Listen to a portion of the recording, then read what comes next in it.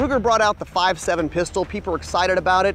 Of course, you probably know the FN 5.7 pistol.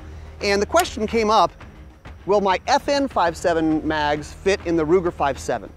Well, let's take a look at this, because I wasn't sure. They're both 5.7 mags, obviously. They both hold 20 rounds. So let's find out if the 5.7 mag will fit in the Ruger.